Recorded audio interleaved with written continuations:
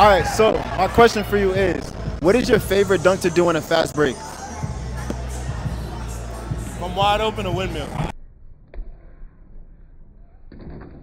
And what about in general? What's your favorite dunk just to do? 360 windmill. 360 windmill? Appreciate it. One more question for you. What is something outside of basketball that you like to do? If you, I like to hang out with my friends. I like to golf and I like to fish. Golf and fish? Yes, sir.